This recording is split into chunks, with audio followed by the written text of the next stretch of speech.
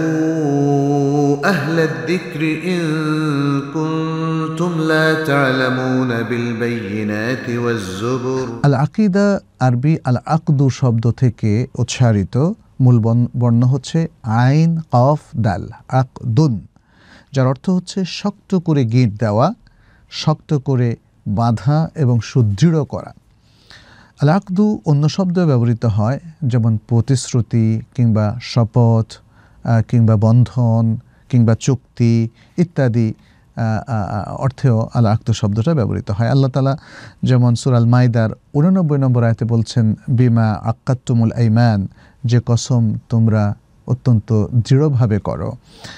অতএব কোনো কিছু দৃঢ়ভাবে বেঁধে ফেলা বা আটকে ফেলা, এটাই হলো আকিদা। এটা হলো শাব্দিক অর্থ। আর পারিভাষিক অর্থে পারিভাষিক অর্থে আকিদা একটা কমন শব্দ ভালো মন্দ সব কিছুকে এখানে আসলে উল্লেখ করা হয়।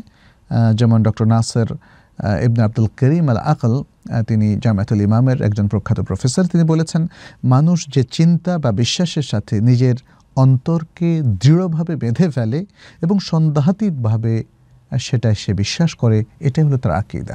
তাহলে যে চিন্তা ভাবনার সাথে মানুষ তার বিশ্বাসকে একদম গিট দিয়ে বেঁধে ফেলে এবং সে মনে করে এটা তার কাছে সন্দেহ, সন্দেহের বাইরের একটা জিনিস। কোনো সন্দেহ তার এখানে নাই।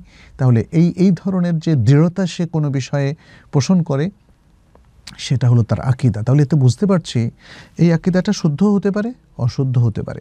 আকিদা মানেই ইসলামী আকিদা নয়। এই জন্য আমরা দেখি যে অনেক ফেরকার বাতিল আকিদা রয়েছে, অনেক মানুষের বাতিল আকিদা রয়েছে। যেমন খ্রিস্টানরা বলে যে আল মাসিহ হাবনু মারিয়াম এবনুল্লাহ যে তারা বলে যে ঈসা আলাইসাল্লাম আল্লাহর পুত্র। এটা তারা বলে ইয়াদুবিল্লাহ তারা তৃত্ববাদে বিশ্বাসী। এবং ইহুদিরা বলে আল ওজাইর ইবনুল্লাহ। ওজাইর হচ্ছে আল্লাহর পুত্র, ইহুদিরা বলে। তো এইভাবে আমরা দেখি যে অনেকে বিভিন্ন মূর্তি বা পৌত্তলিক চিন্তাভাবনা বিশ্বাস করে। এগুলো সবই বাতিল আকিদা। আবার অনেক মানুষ যারা নিজেদেরকে মুসলিম মনে করে, তারা মনে করে যে কবরের ব্যক্তি তার ভালো মন্দ করতে পারে, তার ভালো মন্দ জানে, তার উপর তাসাররুফ করতে পারে, ইত্যাদি। যেটা সাধারণত আসলে আমাদের মূল বিশ্বাস হলো এটা আল্লাহ তালাই করে থাকেন। তাহলে আমরা দেখতে পাচ্ছি আকিদার ক্ষেত্রে অনেক বাতিল এবং বিভ্রান্তিমূলক আকিদাও রয়েছে। আর শুদ্ধ আকিদা যেটা আল কোরআন এবং সুন্না আমাদের উদ্দেশ্যে পেশ করেছে, আমাদেরকে শিখিয়েছে, আমাদের বিশুদ্ধ ইমান আমাদের বিশুদ্ধ চেতনা, আমাদের বিশুদ্ধ আকিদা ইত্যাদি। এবং এই বিশুদ্ধ ইসলামী আকিদার সংজ্ঞায় ডক্টর নাসির ইবনা আব্দুল আব্দুল করিম আল আকাল তিনি বলেন, এটা হচ্ছে আল্লাহর প্রতি তার উলোহিয়াত, রুববিয়াত এবং আসমা সেফায়াতের প্রতি, তার ফেরেশতাগণের প্রতি, তার নাজিলকৃত কিতাবসমূহের প্রতি, তার রাসুলগণের প্রতি শেষ দিবস তথা আখিরাতের প্রতি এবং ত্যাগদিরের ভালো মন্দের প্রতি এবং শরিয়তের বিশুদ্ধ নস তথা ভাষ্যসমূহে দিনের মৌলিক ও গায়েবী বিষয়ে যা কিছু এসেছে এবং যে সকল বিষয়ে আমাদের এ উম্মার সালাফে সালেহীন একমত পোষণ করেছেন, সেগুলোর প্রতি দৃঢ় বিশ্বাস পোষণ করা।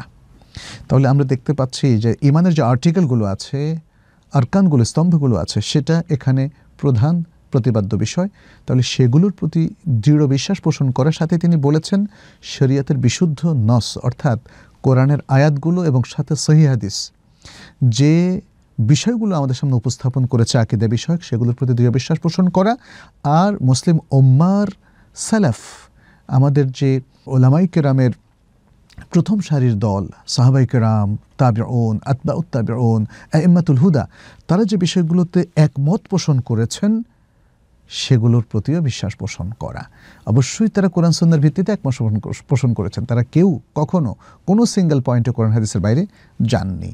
অতএব এভাবেই এসব কিছুর প্রতি দৃঢ় বিশ্বাস পোষণ করা এবং হুকুম, নির্দেশ, ফয়সালা ও শরিয়ত নিরূপণের ক্ষেত্রে আল্লাহর পরিপূর্ণ আনুগত্য পোষণ করা এবং আনুগত্য, ফয়সালা আর এত্তেবাড়ের ক্ষেত্রে নবী সাল্লাহ আলিয়াল্লামের সুন্নার নিরঙ্কুশ ও দ্বিধাহীন অনুসরণটাই হচ্ছে ইসলামী আকিদার মূল প্রতিপাদ্য বিষয়। অতএব এখানে আমরা দেখতে পাচ্ছি আমাদের বিশ্বাসের সাথে আল্লাহ এবং রাসূল সাল্লাহ সাল্লামের আনুগত্যকে ইন্টিগ্রেট করা, একসাথ করা, এটা আমাদের আকিদার অংশ।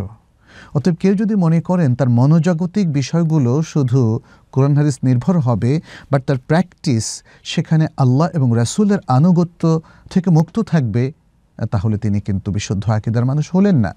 কারণ মুসলিম সহি আকিদার মধ্যে এটা ইন্টিগ্রেটেড পার্ট যে অবশ্যই আল্লাহ এবং রাসূলের আনুগত্য সেখানে থাকতে হবে। তার মানে হচ্ছে একজন মুসলিম তার মনোজগতে যে বিশ্বাসগুলো লালন করে, সেটা তার প্র্যাকটিসের মধ্যে ফুটে উঠবে। তার ভেতরে যে সত্যতা, যে সততা, তার ভেতরে যে ইমানের যে আলো, এলেমের যে ঝলকানি এসব কিছু তার প্র্যাকটিসের মধ্যে প্রকাশ পাবে। তাহলে বুঝতে হবে যে একজন ব্যক্তি সহি আকিদার অনুসারী এবং বিশুদ্ধ আকিদার অনুসারী। যদি আমরা দেখি যে একজন ব্যক্তি মনে একটা লালন করছে, কিন্তু কথার কাজে তার মিল হচ্ছে না, তাহলে তো আল কোরআন যেমন এর ব্যাপক সমালোচনা করেছে, এটাকে নেফাক হিসাবে উল্লেখ করেছে। নবী সাল্লাহ সাল্লামও এভাবে নেফাকের বিভিন্ন উদাহরণ এবং বৈশিষ্ট্যগুলো তিনি আমাদের কাছে জানিয়ে দিয়েছেন, যেন আমরা যারা বিশুদ্ধ আকিদা পোষণ করি, তাদের মধ্যে কোনো ধরনের নেফাক না থাকে। এখন আপনি বলেছেন যে আকিদার গুরুত্বটা কোথায়? আকিদার গুরুত্ব আসলে বোঝানোর জন্য আমাদের অনেক দীর্ঘ আলোচনা লাগবে। আমি কয়েক কয়েকটা পয়েন্ট শুধু আপনাদের সামনে তুলে ধরতে চাই। যেমন বিশুদ্ধ আকিদা হচ্ছে ইসলামের প্রথম স্তম্ভ। বিশুদ্ধ আকিদা ইসলামের প্রথম স্তম্ভ। কেননা আকিদার মাধ্যমেই একজন মানুষ ইসলামের পথে যাত্রা শুরু করে। সে যদি তার আল্লাহর প্রতি, তার রবের প্রতি তার আকিদাকে শুদ্ধ না করে, রবের প্রতি তার খারাপ ধারণা, ভুল ধারণা থাকে, তাহলে তো তার ইমানটাই কমপ্লিট হলো না।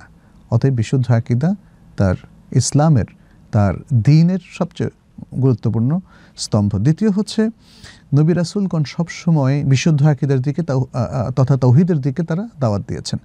তারা বলেছেন, ইয়া কৌম আবুদুল্লাহ আলাকুম মিন ইলাহিন গায়রো হে আমার জাতির লোকেরা, তোমরা আল্লাহর ইবাদত করো, আল্লাহ ছাড়া তোমাদের সত্যিকার আর কোনো ইলাহ নেই। এবং সুরা নাহালের মধ্যে আল্লাহ তালা বলেছেন ওলাকাত বা আতনাফিকুল্ল উম্মাতিন রাসুলা আনির আবুদুল্লাহ ওজতানিবুত্তাগুট আর আমরা অবশ্যই প্রত্যেক জাতির মধ্যে একজন রাসুলকে প্রেরণ করেছে নির্দেশ দিয়ে যে তোমরা আল্লাহর ইবাদত করো এবং তাগুতকে পরিহার করো। তিন নম্বর যে বিষয়টা, সেটি হচ্ছে ইবাদত গ্রহণযোগ্য হওয়ার বিষয়টা সহি এবং বিশুদ্ধ আকিদার উপর নির্ভরশীল। একজন ব্যক্তি যদি অন্তরে শিরিককে লালন করে অথবা কুফুরিকে লালন করে, অথবা তার কর্মকাণ্ডে শিরিক এবং কুফুরির সমাহার থাকে, তাহলে তার সমস্ত আমল বাতিল হয়ে যাবে। এই ধরনের ঘোষণা আল কোরআনে অনেক দিয়েছেন আল্লাহ সুবাহতাল্লাহ বলেছেন যেমন সুরাজ জুমারের পঁয়ষট্টি নম্বর আয়তে ইন আশরাক্তা লায়াহ আমালুকা ওলা তাকুনান্না মিনাল খসিরিন। তুমি যদি শিরিক করো, তাহলে তোমার কর্ম নিষ্ফল হয়ে যাবে অবশ্যই, এবং তুমি অবশ্যই ক্ষতিগ্রস্তদের অন্তর্ভুক্ত হবে। আল্লাহ তালা এই বাণীটি নবী সাল্লাহ সাল্লাম এবং সকল নবীদের উদ্দেশ্যে দিয়েছিলেন যে যেই যত বড় পদমর্যাদা সম্পন্ন ব্যক্তি হোক না কেন, আল্লাহর বান্দাই হোক না কেন, শিরকে নিপতিত হলে তার সকল আমল বাতিল হয়ে যাবে। সোরা আল্লাহ আমের অষ্টাশি নম্বর আয়তে আল্লাহ তালা বলছেন ওয়ালা ইন ওয়ালাউ আশরাকু ওয়ালাউ আশরাকু লাহাবেত আন হুম কেন আমালুন যদি তারা শিরিক করতো, তবে তারা যে আমল করছিল, সেটা বাতিল হয়ে যেত, সেটা বরবাদ হয়ে যেত। আর এছাড়া আমরা নবী সাল্লাহ সাল্লামের একাধিক হাদিস পাই। তার মধ্যে একটা শুধু এখানে উল্লেখ করব সহি বখারি মুসলিমের, মান তাফি আমরি নাহাদা মালাই মালাইসামিন হুফাওরাতুন যে ব্যক্তি এই দিনের মধ্যে নতুন কোনো কাজ শুরু করে দেয়, নতুন কোনো বেদাত চালু করে, তাহলে তার সমস্ত আমল বাতিল হয়ে যাবে, সেটা প্রত্যাখ্যাত হবে। এভাবে আরও অনেক দলিল আছে, আমরা সেই আলোচনার যাচ্ছি না। চতুর্থ যে বিষয়টা, সেটি হচ্ছে আমরা যদি বিশুদ্ধ আকিদা পোষণ করতে পারি, সহি আকিদা, এবং বিশুদ্ধ শক্তিশালী ইমান আমাদের মধ্যে থাকে, আমরা হোল্ড করতে পারি, তাহলে শয়তানের কুমন্ত্রণা থেকে আমরা রক্ষা পাব।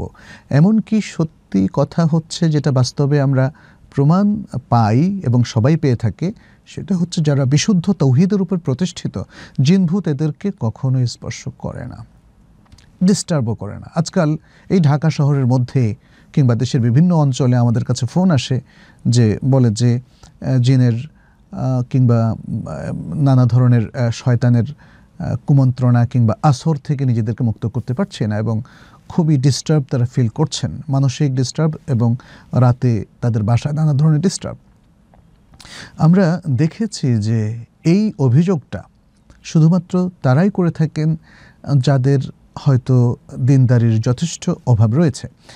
আর কোনো ভালো আলেম অথবা যারা আসলে তৌহিদের সঠিক চর্চা করে থাকেন, বিশুদ্ধভাবে ইবাদত পালন করে থাকেন, তাদের ক্ষেত্রে এটা দেখা যায় না। সুতরাং এর দ্বারা বোঝা যায় যে বিশুদ্ধ তৌহিদ যারা পোষণ করেন, বিশুদ্ধ আকিদা যারা পোষণ করেন, তারা শয়তানের কুমন্ত্রণা থেকে রক্ষা পান, জিনভূতের আসর থেকেও তারা রক্ষা পান। জিনভূত কথাটা আমরা এমনি বলে ফেলি, আসলে শব্দটা হবে জিন। আসলে ভূতের যে কনসেপ্টটা এটা কোরআন হাদিস কখনো আমাদের সামনে তুলে ধরেনি। অতএব আমরা ভূত শব্দটা পরিহার করাটাই আমাদের জন্য ভালো। পঞ্চম যে বিষয়টা আমরা বলব, বিশুদ্ধ ইসলামী আকিদা সকল ভ্রান্ত আকিদা এবং মতবাদ থেকে আমাদেরকে হেফাজত করে, সংরক্ষণ করে।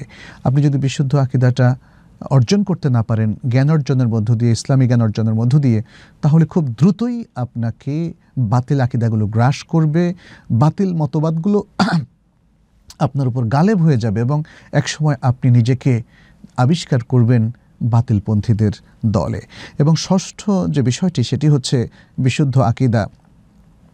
সকল মুসলিমের প্রতি একটা ভালোবাসা তৈরি করে দেয় এবং মুসলিমদেরকে দিনই ভালোবাসার বন্ধনে আবদ্ধ করে।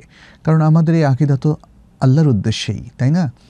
আল্লাহকে আমরা ভালোবাসি, সুতরাং আল্লাহর বান্দাদের প্রতিও আমাদের ভালোবাসা, শ্রদ্ধা রেসপেক্ট সম্মান থাকবে। বিশুদ্ধ আকিদা আসলে আমাদের ঝগড়ার বিষয় নয়।